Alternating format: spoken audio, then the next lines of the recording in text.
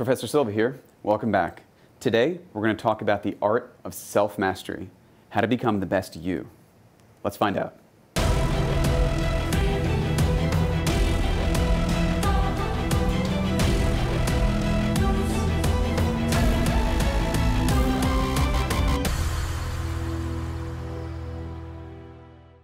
So, the guiding principle on everything I'm going to tell you today is based on a book by a gentleman named Miguel who wrote a book called The Four Agreements. Four distinct steps to take a look deep inside yourself and help you become the best person you can possibly be. It's very simple, so let's get started.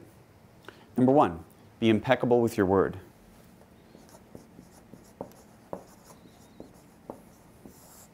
Easily said, how many times have you said something and not really meant it?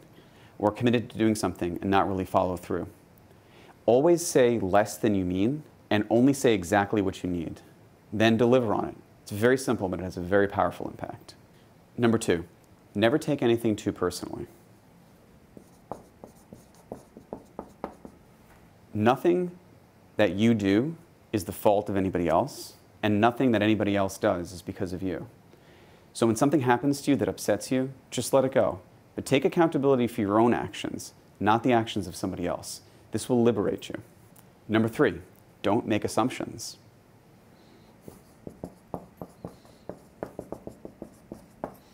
Find the courage to ask questions that you truly mean to say. Say what's on your mind. Don't be afraid to expose yourself. A lot of times people will relate to your sadness, even your drama, your weakness, and they'll see you more as a person. But never assume that someone else knows how you feel. Just tell them. It's the easiest way. With one small, simple word, a little bit of honesty, it can truly transform the way you're seen and the way your life is.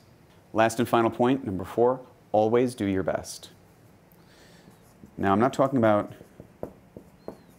better than anybody else. This is a relative statement. Your best is going to change from time to time. So, what your best is today is going to be different than what your best was a week ago. It's going to be different than your best is next month. Don't worry too much about what other people are doing what other people have. Focus on yourself and make sure that you're becoming a better you. If you're doing this, you'll ignore the pressures of jealousy, you'll ignore what other people have and how you feel like you might need to have what they have, and you'll only focus on improving yourself.